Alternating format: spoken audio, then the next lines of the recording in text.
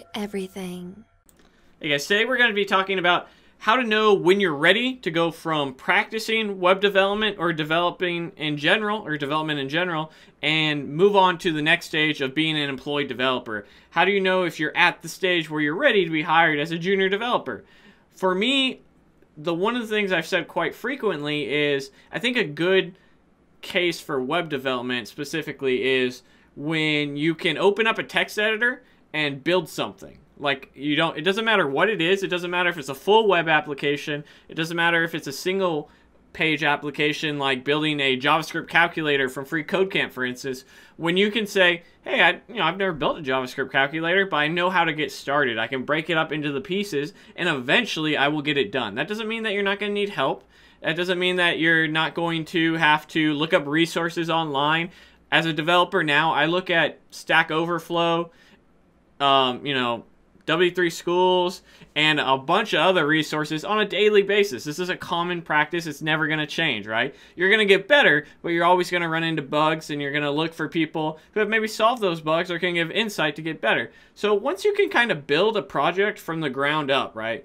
And web development's a, a good example because you can build a ton of cool little things in a relative short amount of time. You know 10 20 hours whatever it may be. But once you're comfortable that someone you're you you feel that if a boss said hey i need you to build x and and you have a rough understanding of what to build it in and you're competent you you feel confident because that's that's what it's about. Is being confident enough that hey i'm ready to be a developer. I'm ready to take from just studying and practicing to being paid um, well, hopefully, you know, hopefully well, right? Or at least just being paid and getting the experience on the resume.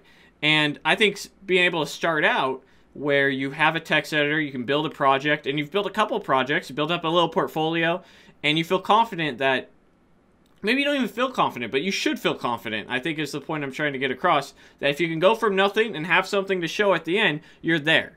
And for me, I cut just a couple things. And then my, my situation was a little unique because I worked at a software company, but I didn't actually write software, right? I uh, closest I ever got was wireframing.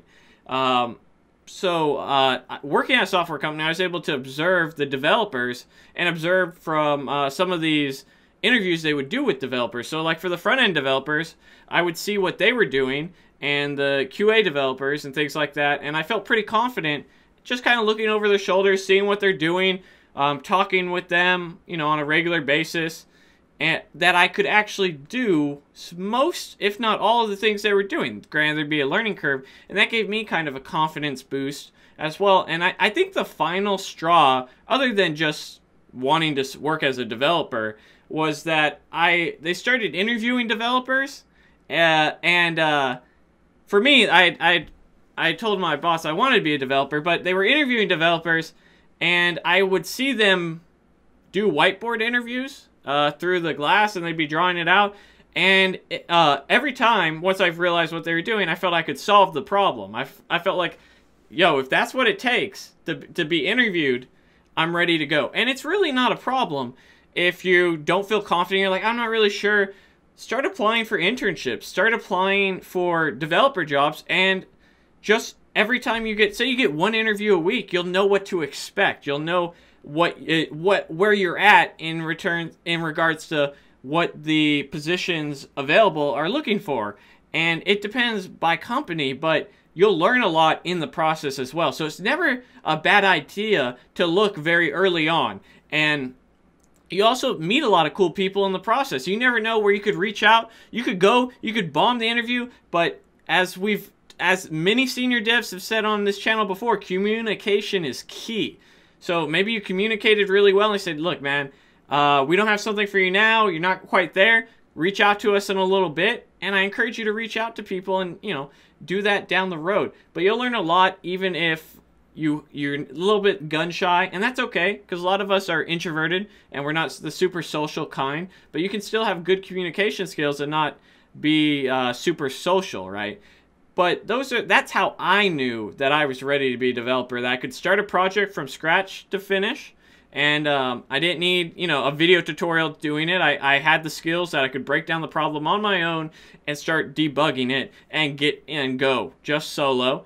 Um, and also, in my unique case, I was able to see the developers they were interviewing, and uh, I felt confident I could solve the interview questions. And seeing the stuff they were working on, I felt I had a, a decent understanding.